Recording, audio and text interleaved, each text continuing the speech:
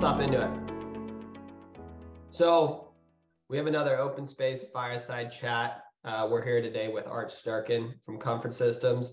And before I pass the microphone over to Art to tell us more about himself and Comfort Systems, want to give a quick introduction of Open Space. Um, my name's Josh. I oversee the trades team here at Open Space, and Open Space has been a uh, company that started been around for a few years now. We started in 2017. We're an automated reality capture solution. Uh, so think 360 camera goes on a hard hat. Uh, click your starting point on a plan and simply walk in. What OpenSpace does is automatically capture a 360 image every half a second. And Art's gonna actually today show you uh, one of his projects so you could see what that end product look like uh, looks like. Um, you know, we've we've uh, captured over 15 billion square feet of space across the world. We're in 91 different countries, and Comfort Systems uh, has been one of, if not our best uh, uh, customers. I, I had the opportunity to work with Art almost two years ago, and here we are today. So it's kind of a full circle thing, and it's exciting to see, and uh, excited to be here today with you, Art.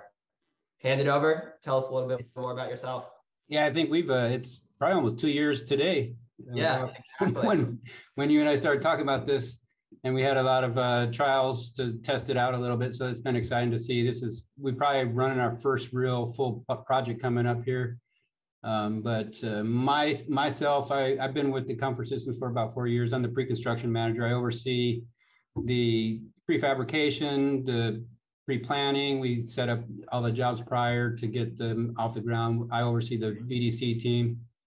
Um, so that was really, and the engineering group all kind of report to me. Um, so we're trying to get all, as, as seeing open space back in the day, this kind of tied into what we were doing, the 3D model, the BIM. I think what really caught my eye back in the day was the BIM, the BIM model versus the actual reality to be able to yeah, see that yeah. side by side was pretty exciting. So as far as comfort systems, we are um, all over the US right now. I'm part of the Comfort System Southwest, mm-hmm. and we have Arizona, um, mainly in the Phoenix area, Tucson area, and then New Mexico. So we have the Southwest side of things.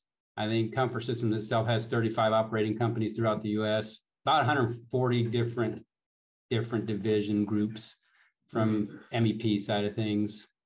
Um, for our group here, we do a lot of large commercial buildings, warehouse, hospitals. Mm-hmm. Um, right now, I think we're doing a big uh, warehouse out in uh, the East Valley. And then we got quite a few jobs. We got some in Tucson, some bigger jobs going in Tucson, and some with the casinos. So it's it's a wide variety of things that we do, trying to master our skill in, in a certain line of work. Um, as far as, uh, I mean, that's comfort systems as a whole. Mm-hmm. Um, as far yeah, as, uh, go ahead. Well, it's it, it's it's funny. Like I, I, I really do think this is like two years to the day since we last spoke, or, or th- since we had originally, you know, you know, had had that conversation about getting started. What was it about reality capture? Like, what got you into reality capture? Because it's starting to be kind of a, a, a space and technology that trades are really starting to adopt and really evaluate. Like, what was it about reality capture that really caught your eye? and why open space?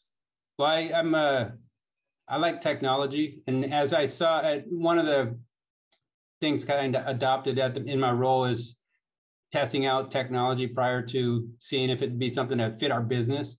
Mm-hmm. So uh, stumbled across it. I think Colonial Webb, one of our sister companies. Uh, I got an email. They were trying it out. I do believe they're probably using it now too. Mm-hmm. But so I, you know, seeing what they did with it and how we wanted to use it, seeing your guys' demo was actually really, really helpful. But once I saw the fact that you could just walk around the site with the camera on and not have to think, my first thought was from the PE, PM side of things, documentation, because I know they spend hours out there taking photos and documenting progress and stuff like that. As so mm-hmm. seeing that and then compared to the BIM model, um, not even if it's a BIM job. I mean, I guess it would be it'd be beneficial then. But when you saw it compared to the BIM model, you have a lot of documentation that says, "Here's how we installed it. Here's how we built it. This is how it's supposed to be built." And if it's not following that, I can quickly go back in history and get screenshots and document, you know, what may need to be the, if there's a change order that has to happen from it or whatever may be the case. And also, I think when it comes to plumbing, once you bury the walls, you sometimes forget is something in there. You can go back in time and see, oh yeah, we got that in there and it's and it's braced properly. You don't have to cut open a wall or something of that nature. So just from that standpoint, documentation. Um, and then I think there's the track part of it. We did test out the duct work when you guys were piloting that stuff out. So I got a couple, couple examples there to show, but I think now that you guys got the whole MEP side of things, it's able, we're able to actually run it on one of our bigger jobs, about a sixteen million dollar job. So it's a, it'll help us out as far as documentation goes. I think the PE might be a little busy, but Yeah. a lot Yeah. more, a lot of, lot more walking. Yeah. No, that's that's an interesting point because that I think that's a challenge a lot of lot of groups have um, is just documentation, right? The traditional approach is phone, taking a photo and dropping it into your PM software or a shared folder. Like what what has the feedback been from your team, like your field team on using open space? And what's what's been like their big difference and they what have they seen? Now, as far as the field goes, they haven't really been, we haven't gotten too deep into the field as far as like foreman supers. I think right now it's, they'll be able to actually look at the model, which will be really nice Yeah. for them to have. We have it in Procore also. But uh, the ability for them to actually see where things are at and, and fly against the other trades, I think is going to be very helpful in that regards. As far as the uh, simplicity of it out there, the, the PE that walks the sites are, it's super easy. I mean, I guess the, the biggest thing they have to get over is just the camera on the head. Yeah. The, the comments they have to deal with, but I mean, Yeah. you get, you get used to that. I mean, but I, uh, I heard they get used to it when the uh, first big dispute comes up with another trade and, and they get to use their captures to push back. yeah, and then, It's then they're like, get start out, getting comfortable with it. Yeah, they get out there more frequently because we got to get more of those. Yeah, exactly. No, but it's, it's, uh, it's been going pretty good. And the, I think the learning curve is actually really easy too. So I think initially when you say, hey, I want a new person to get out there and walk the site, um, when you ask them to do it, it's like a little bit, they think it's gonna be very complicated. It's like, okay, well, it's just load the software is probably the hardest part. Getting on your Yeah. phone and, and syncing that is probably the hardest part of the job. And then when you get out there, as, if it's all dirt, that's a little bit more complicated, trying to figure out where you are in the building.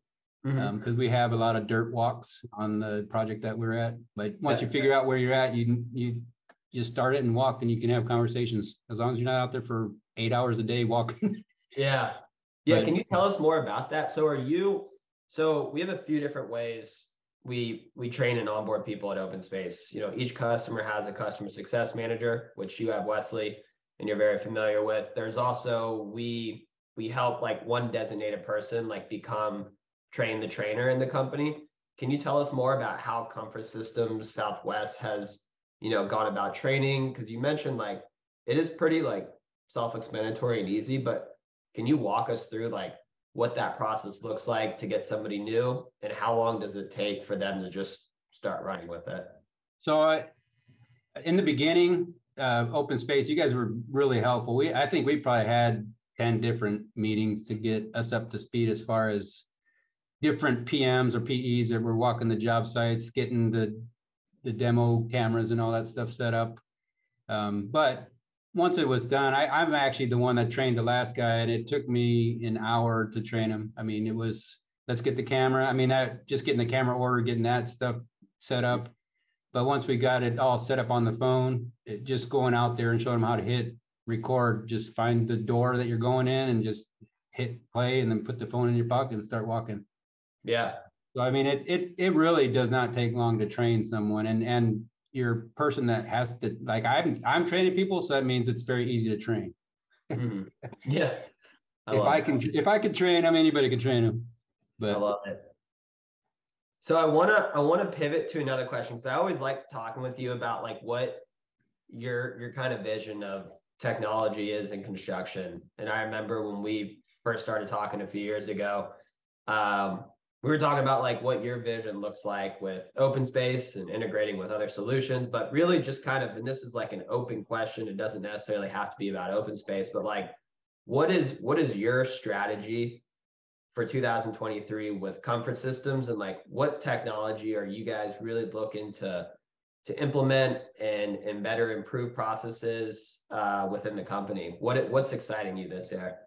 So for 23, as far as technology goes, I think we might be looking at a, another like a Trimble scanner of mm-hmm. some sort to be able to get 3D scans of as built and progress of the job so that we can actually go back later on and get detailed and bring them into our model and find out where plumbing and routing. We do a lot of central plants where we have to mm-hmm. retrofit. So we want to be able to scan that central plant and not have to purchase the equipment or rent the equipment to do it or rent yeah, a company. Man. So that that's one of the things. But we also, you know, not not a lot of people actually look at the safety, but we put safety in the forefront this year mm. a lot. Um, we actually bought a couple Raptor carts um, we typically would have to rent those out, but they're for the roof and when we have to uh, put people on a harness of some sort. Uh, yeah, we've yeah. gotten in a lot of risky situations where you get on the roof and they, they want us to perform work that's not safe. So you have to rent the carts or whatever may be the case. Um, so we actually purchased a couple of those this year. Want to make sure nice. that we, we, and some new harnesses and all some lighter weight, the aluminum ones versus the steel ones. So there's a lot of stuff in the safety side of things that we're uh, including this year. So, but in 2022, we did purchase a lot of uh, new equipment. We got a burn-in pipe server cutter, so we could actually go from our Revit models straight to the pipe server, cut the pipe, so it's more accurate. We can actually do a lot of prefab in our shop, which actually helps with the scheduling nowadays getting tighter, help us meet those timelines that they are putting in front of us. So, mm-hmm. so we hmm. got some new equipment there. Procore was a new launch and knowing how open space actually kind of speaks to Procore was actually part of that decision on when we jumped over to Procore because it's a it's very easy to go back and forth in that one as far as when you do some of your field notes which is something new that we're getting used to using. You'll know you'll see some field notes in the job that we did too so um, so we're just trying to get better just being really good at what we have in 23 yeah. So you don't want to keep just grabbing the next piece of technology. I'm not easy to just. Uh, it took us a little while to get to using your stuff. So it's, yeah. we're not going to just take the next person that says, "Hey, we got the next greatest thing." We have tried some new things, and and uh, you know we had some successes and some failures. So, mm-hmm. um, but we keep trying them. We're not going to give up. And the biggest thing really is just the the workforce that's out there, trying to mm-hmm. figure out what technology that we might be able to bring in to help eliminate needing to have more people in the field. So is yeah. there some way we could speed up a process in our building or make sure things are going to fit prior to getting out to the field and finding out you have to do a lot of rework where you don't have the manpower to do that. So um, that's one of the, the biggest focuses for us is just try to look at technology at how we can actually help the field speed up their yeah, install process. That's probably the biggest challenge I continually hear is that labor shortage. Um, and and where where can companies do more with less? And open space has been um, at the front of that conversation of a pm especially for trade right? With the previous group we were talking with their pms are overseeing 12 different projects. So how do you get to those 12 different projects within you know in a, a, a considerable amount of time? Um, can you tell us has open space like helped with that efficiency process being able to do more with less? Um, do you find that your teams are opting to virtually travel to a site if they can so they can cover three different sites in a day instead of physically traveling to one? What has that experience been like? I think the it hasn't we haven't had that many jobs posted yet because we typically will do them on the bigger jobs Mm-hmm. Um, so as far as virtually watching, if you have a bigger job, you have one PM that kind of oversees it with a bunch of little jobs, and and we won't uh, have all those little jobs in open space at this point. So there's not a need to virtually watch that one as much. Mm-hmm.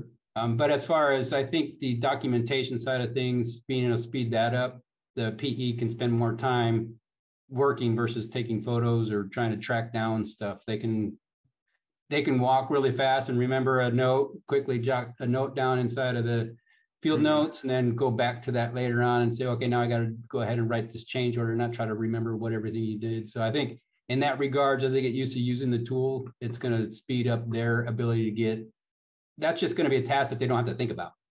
Yeah. I mean, it's, it, if I walk the site, I got documentation, so I can always go back later on and go, okay, what area was this in? I can go and take couple screenshots and then type up my email and be done with it.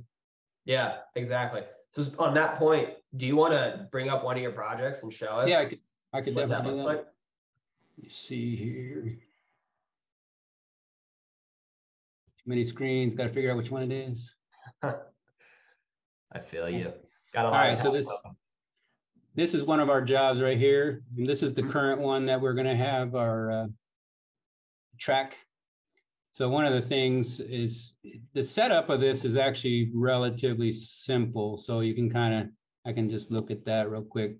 It's, I think you guys did a good job of making it pretty simple and for uh, entry-level users for that matter, in my mind.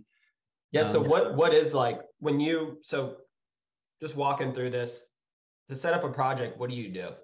Like, can So you, can you walk us through that? Yeah, so really, it, it- starts at the beginning. You can just come into your jobs and you create a new, you can create a new project from here. Um, but once you actually create the new project, you can come in here and actually, it's very simple. It typically brings you to this, uh, once I get the screen up. It brings you to this screen where you just go ahead and type the company information, the location, the project Yeah, start. yeah. Um, then you just create your floor plans. And typically what I would do is just grab the architectural floor plan, try to get all of it on one sheet, the simpler. eh, If you have multiple sheets, it just makes you have to change your areas when you walk the job site. So I try to get it all on one sheet. So when you walk a level, you just say I start and then you can just walk the level however you want to walk the level. Um, if you break it up into areas, then you have to know when you cross the area that you have to start a new sheet and it, Mhm. I think it creates a little bit, a couple more ex- extra steps. But yeah, you just upload your floor plans. It's pretty simple. Um, we, this one, it just has underground, level one and roof. So we, we loaded those three. Um, field notes, you did typically just can pick out what you want your field note categories to be or create your own categories. Mhm. Um, so you can customize this. I typically don't change it. So generally, when you, when you start a project and you're creating it, how long does it take you to create a new project in open space? I think the biggest, the, the longest part is just trying to figure out what floor plans to use. Setting it up is actually really fast. Um, the uploading the model, as long as you got, a if it's a model, uh, updating it. Um, Mhm. this is actually a new feature that you guys added, which was kind of neat. I- We stumbled across this, but align floors. Yeah. So that, that you can realign them if things aren't lined up properly, or if you want to get your elevation different. Yep. Um, but once you upload the model, then uh, it takes a day or so, and then I think you guys sync it, get the coordinates there. Um, and then this is the new one track. I haven't even really poked around in this one because it just popped up today. So Well, when we, so when you, when you get a project created, can you, can you show us like what a capture looks like? Yep. Like the floor plan and uh, the walking path and what that, like, give us like a, a day in, in the life of a PE who, who goes out, you set the project up. It took you, you know, a few minutes adding in those floor plans. What is a PE with the camera gonna do now in the field? So from the field standpoint, it's on their iPhone or Samsung or whatever phone they have. You can pull up, it'll be a view very similar to what's on the screen on their phone. You just pick what floor you're gonna be on. If you're gonna be on level one. And then on your phone, if you're gonna start right there, you just tap the phone and say, start recording. And then basically the camera is working. The camera's on their hard hat and you can actually walk the site. Um, and you see the pattern here is because he's going around the perimeter of the concrete right now. But um, you just put the camera on, you can actually stop, have conversations with people if you need to. You don't have to worry about stopping the recording. The only time you have to worry is if you, if your battery were to go dead for some reason, if you really stop and talk to everybody around. Yeah. You Probably got about three hours to record something. So if you're taking more than that, that means you really stopped a lot. Um, but you can So always, once he finishes this recording, how Yeah, long does it typically take for you to receive this, for what we're seeing currently in the office? um, for the office, depends on how quick it gets back to the, to the Wi-Fi and hits upload. Um, you can, you can do it off the phone, but it takes a little bit longer off of the, the five G or the four G, whatever network you're on. but um, typically I'll see an email like the next day saying your captures are ready to be viewed. Mhm. So I can, I don't, I don't even know when he walks. All I, I see a new email and then I can pop in here and see, you know, when he walked it. Um, But you can kind of see like the history of the walks, what days he walked them. Yeah, So over time, we didn't have much activity, so you didn't have much going on. This is probably when I trained him. yeah. Yeah, so what, for the, for the uh, attendees, what, essentially what you're seeing here is the end product after they walk. The person in the field who took the capture goes to upload it, and then Art with this green line is able to see exactly where on the, the, the site plan or floor plan that person walks, so he can easily hop to a certain area and view that in this Google Street-like view environment. And at the bottom here where it says March twenty-seventh, like all of these walks are timestamped. And then you can, yeah, do you want to show them like if, if something was to happen on the sixth, what that looks like to be able to jump back in time? So when you first get these captures, like what is your first, like what do you typically look for? What do you do? I mean, I just kind of walk to see where they're at in progress. Um, the big, the, the neat part of it is to be able to just, this is the part that really sold me back in the day.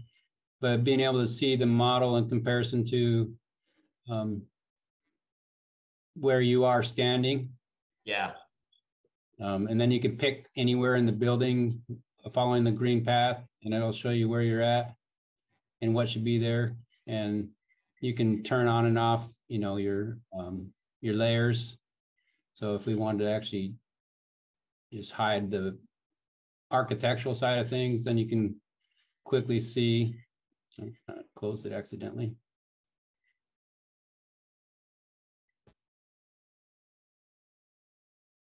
from a mechanical perspective, can you, can you walk the attendees through like what the value is for you? For being able to, to have this side by side and like, where do you typically see yourself using it and why? So the biggest, the, the biggest advantage to me is typically when um, someone says, they might mention that we uh, are having a conflict in the field.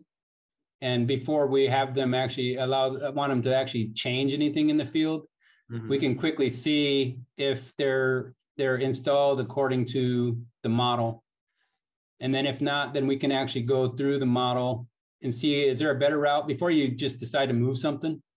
Is there a Mhm. better route you can go? And then if there's a need for a change order from them, we can start actually doing screenshots, sending over to the GC saying, hey, here's a, here's a challenge we have here. It looks like, you know, whatever structure was off by two feet or whatever may be the case, and then you had to route around it. I mean, this is a lot of elbows that we're gonna have to add to get around this change. How do you want us to handle it? Before, in the past, it would have just been taken care of and you might lose that opportunity to capture a change order from it, or, you know, just lost revenue, whatever may be the case. Yeah, yeah, that's interesting. So that, that's a bit, that's a, that's a, I think, big point right there.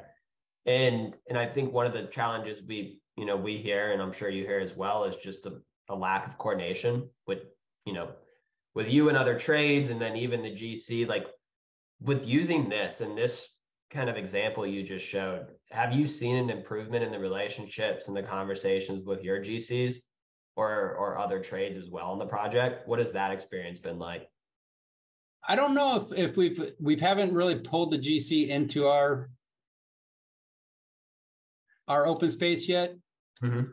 Um, because we do a lot of modeling with them. We, we do refer to back to the models a lot. Um, but as far as open space, we haven't really invited them into that yet. Um, it's a, it's definitely an opportunity down the road for us to be able to do that. Yeah. That makes sense.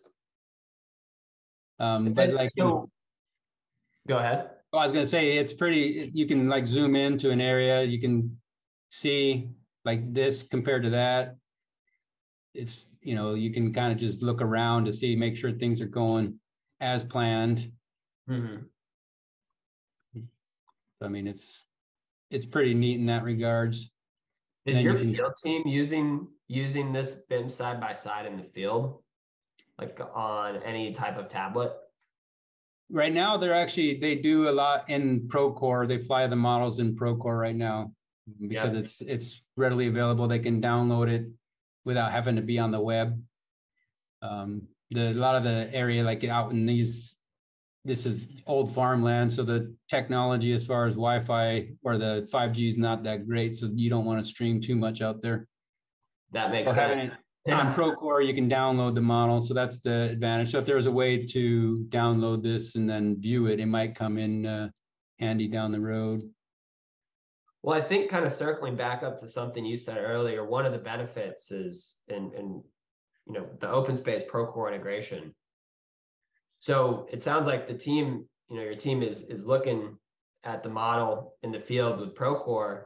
And then you mentioned earlier, they're using field notes or you're looking and, and soon to adopt, like, what does that process look like? And So what right now, the, uh, the field notes uh, seem to come a lot more from the PE. So he'll walk the job site. So like, I think, I don't know what this one says, but he did a field note in this area. So he, he stopped here, captured some stuff. Um, There's one member on email alerts, so I don't know. He probably had to remember something on this one. He didn't write too much in the notes itself. But on some other ones, you can kind of see click the wrong one. Where to go?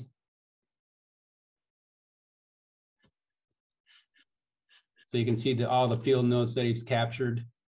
So. like Can you, yeah, can you click, click one of those again, that, uh, that priority one? So for reference for the attendees, what, what we're looking at here is what we call field note. And, and if you saw in the other example, you know, you could see that, that person in the field taking a photo with their phone. And in the middle of a capture, it automatically captures and locates that photo onto the floor plan automatically. Um, so as Art was saying, it, you know, in time savings, you know, they could just capture that real quick, keep walking and, and come back later and add those notes. But what does it look like when they want to push that into Procore? Do you have yours currently integrated? Um, I have not, but I- didn't, haven't used it before. So it's like, but you could see the integration. So this is a BIM three sixty, that's the Procore one. I think that's PlanGrid. Uh, yeah, that's a three sixty, so, but. So you can link it to an existing RFI, link to an observation, link it to a, so your choices are here. So I, I mean, I, I don't want to do this for them, but I could click link to an RFI and it would run over Procore. The big thing is you got to remember to log in using your Procore um, credentials versus open space, so it Yeah. syncs. And that was part of the, uh, the integration when you go in here into the settings. uh, Didn't really cover that very much, but you can, you, you have your integrations for your uh, different tools you can actually integrate with. Mhm. So when you log in, it'll ask you, do you want to log in using your Procore one or your PlanGrid or your BIM three sixty? So then once you do that, it's going to integrate with that specific one. What would you say the biggest value is of the field notes that you've seen so far? I think right now it's just a matter of not forgetting something. Yeah. It's, you walk around in the field a lot with your phone, but you don't always have a piece of paper or something to write down. I mean, you could take notes on your phone, but this is just super, super fast. So. What a what and then so kind of segueing because you you touched on it a bit track. So track is and just kind of an introduction of of what track is. So track is a is essentially an add-on feature uh within open space. So what you know for the attendees what everything you've seen before with the capturing process the side by side of the bim that's what we call our our capture uh, feature, which is our core product. And track is essentially, uh, we've taught the AI to be able to, to look at your photos. And essentially, you can see on the, the right side of the screen here, ductwork, HVAC finishes, mechanical piping. Our AI can has learned what those materials are. And as Art and his team are installing those, the AI is able to automatically automatically give you production complete. Um, so Art, like tell us why you wanted to add on, you know, track. Where do you see the value? What your experience has been like so far?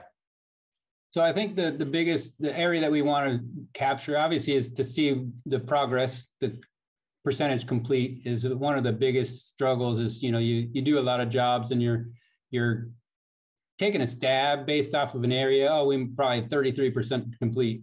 But Mhm. this actually gives you a, a better idea of where you really, really are in comparison. Um, so for example, I mean, we can look, you can turn on, we don't have any ductwork installed yet because uh, you saw from the photos, it's still coming up with steel. But you can turn on and off the, uh, the, all the ductwork that needs to be installed. You could zoom in. Mhm. And then you could turn that off. You can see what finishes as far as like the grills and the, you know, diffusers and all that stuff. So those are, those are gonna be counted. And then your mechanical piping, where that's gonna be. Mhm. You have your specific levels. So we could go to the roof. We don't have any roof captures, so we can't compare it to anything. Um, obviously, because the roof's not there yet. Yep. But eventually we'll be getting up on the roof and doing the same walks. Um, so that we can capture, we got a lot of mechanical pipe on this roof. So we're gonna be able to capture that. And it, it, and I could show you one of our other ones, that the one that we did the pilot on. So you can kind of see here, the seventy-eight percent of the ductwork was installed. You can kind of, if you turned it off, you can see what's still remaining. Um, some of the reporting is pretty neat. You can go in and see how much is installed per day. So from the PM standpoint, you can quickly say, okay, you know what, what happened between here? You might find out that there was a rain delay or there was something that stopped you from doing work, which might give you an idea, an opportunity to say, hey, GC, you caused the delay. Mhm. uh, Or something caused a delay. That's why we were here. We need to push the schedule out. So you're not always getting caught with your pants down. You have some documentation that can help you out.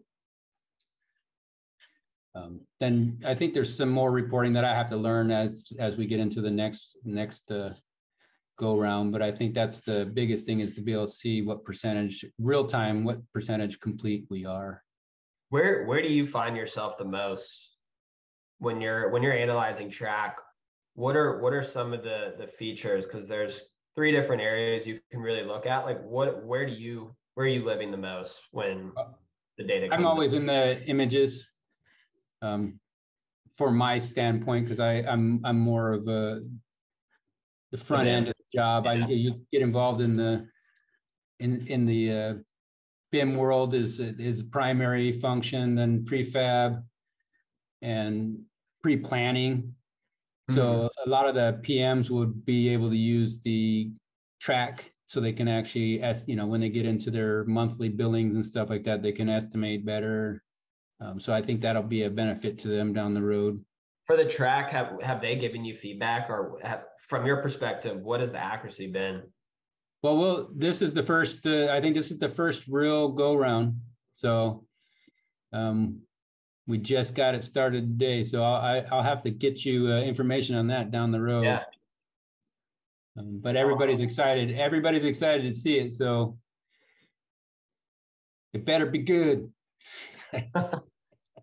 I love it. So I so now as we've kind of touched on all the technical aspects, I want to want to give you the opportunity to get the the product team's ears. You know, you've you've had a handful of conversations with Jess Lamb and Mike Traybold, and they've gotten a lot of your feedback. And after what you you know you've been you know with OpenSpace for two years now, if you were to ask the product team, you know, hey, this is what you know I could really find valuable. What would that feature be? Hmm, I wasn't ready for that question. Well, you, now that it's there, man, it's who knows. Your your your recommendation could be could be the next key feature we work on. So if you I think, I think if, if I were, if I were one to say. What would probably get more people to want to use it is the figuring out a, the, the camera side of things. Mhm. So it's more discreet, not so much, uh, here I come and have everybody run. But that's, that's, a- interesting. So like the your your team your your field team not having that camera just sitting on the helmet and in my mind, it's almost, li- it's, it's almost like the police force, how they all have now the camera just, they, they just wear. Mhm. and it's just normal. Then you can get, you know, more foreman or whoever's on the job site all the time. something that they could just turn on and off, like, okay, I, I need to record this area and then you just walk and then there's no, there's no hassle, you know, that's. I think the biggest thing is I gotta get my, you know, even though it's not hard, it's like I get my phone out, get the camera, make sure it's charged. You know, just Mhm. having that readily available. And not Yeah. so, here I am in your face with a camera and everybody doesn't want to talk to you. Yeah. No, I, Is that no, I- thing- I- I that like that.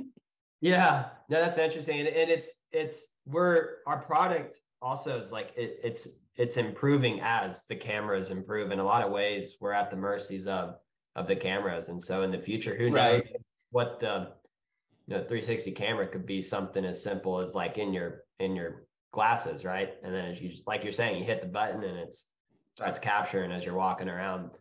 But that's Well, you could, you know, you could see that with the, uh, this, this, take this walk, you could see the grain granular.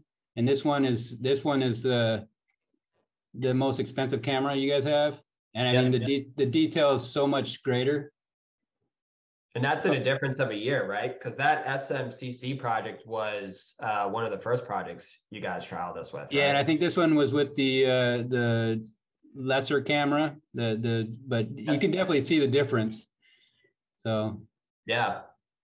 No, it just keeps getting better and better. And and as it as the cameras, you know, evolve, our AI and computer vision evolves with it. And um it's moving quick. It's exciting. And I think the only other thing that I can think of from when uh, one of my uh, project managers on the VDC side is, was trying to set up the the level. So when we were in the model, it seemed as though um, you can just trying to pull it up here. So you can you can pick where you are at. You know, you can you can go down further and we were having like trying to get below the ground is like really slow but then um not having it remember where you set it. And then so he had to go through and to the settings and um he learned how to line the floor. So that was that that actually helped out a lot there but just trying to figure out how to get yeah. it from the because when you set it up in the 2d view but then you have to come back and realign it in the 3d view because if you hit a corner of the top of the building it sets you up all the way at the roof. So then when you when we started flying these models when we first got them you're way high so you had to try to bring yourself down. So he figured out how to realign the floors but And that and is that new new aligned floors helping? yeah i mean that's when you see me come into the model that's where i'm at now is on the new aligned floors. Mm-hmm. I love it. Well, Art, this has been fun, man. Yeah, I look, uh, look forward to seeing what goes on throughout this project. We gotta check back in about uh, nine months and see how it's going. Yeah, you guys have uh this this one has track, right? You just got track fully set up. Yeah, yeah, this is the first, the first one we're actually doing outside of a pilot. It's exciting. So, yeah, Can't to excited it too. I think, I, I think the underground was the only thing I think you're not quite ready to capture. So I think that might be something, I know your team's working on. I just got an email back on that. So, For for track, right? yeah, yeah, for track. Did you guys capture the underground of, of this with just capture? Uh, we tried, but you know, it's, it's a little bit harder to get the, uh, the, the pipe at the right time. Is that because your guys just couldn't get to that area, like physically get to that area?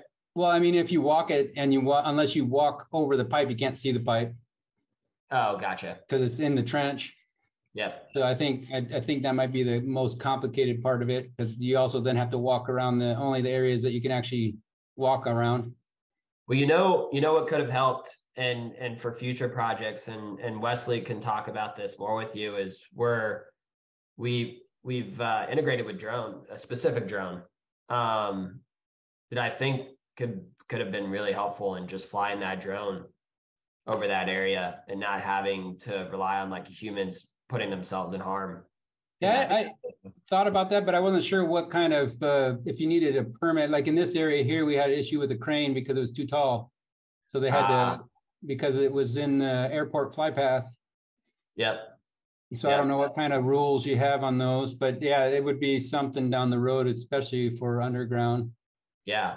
Yeah, Wesley Wesley could definitely give you some more details on that. I think it's the Insta 360's uh, Sphere that we now work with. And it's it's been going really well. We've recently we're talking with a group doing um, solar work and they're they're deploying. And I, I mean, I know it, it would be a dream of mine, but if I just put the actual model right over top of the actual, so you almost have a as-built type of scenario Like overlay the model on the uh, onto the actual. I know we got the over, the overlay for the actual floor plan, Yep. but like to be able to see, okay, this pipe is off by four inches. Now you can actually go in and you Yeah. could adjust your as-built to move our model to match where the pipe actually is and see if we're gonna Yeah. have any conflicts with that. But that, that's probably a lot more on the technology side. But I mean, it's pretty darn cool you can do this. So if I'm assuming your team can probably come up with that. Yeah, no, it's it's in the roadmap. It's definitely um, a discussion our team's been having and, and something that our our VDC team has been working on. Cool. Well, you got anything else for me? No, man, I, I thought this was an awesome conversation. I I I didn't even like mean for this to happen, but like two years, like on the dot. It's exciting we got to do this and come full circle with it. Um, and yeah, we we I, would love to catch up with you in like six to nine months and do this again once you have more data on the track side. Um, Yeah, that'd be, that'd be good to follow up on that just to see how it goes. It maybe it doesn't Yeah. need to be an hour, but because I don't know if I could talk for an hour on, on the results, but yeah, we Yeah, could, we could we'll- definitely catch we'll- up. We'll bring in the whole gang next time. We'll bring in Wesley and Cole and I know those guys can talk, so. But yeah, man, this was fun. I'm glad we did this. Well, awesome. Thanks for the invite. All right, Art. We'll All right, take talk care. soon. All right. Bye.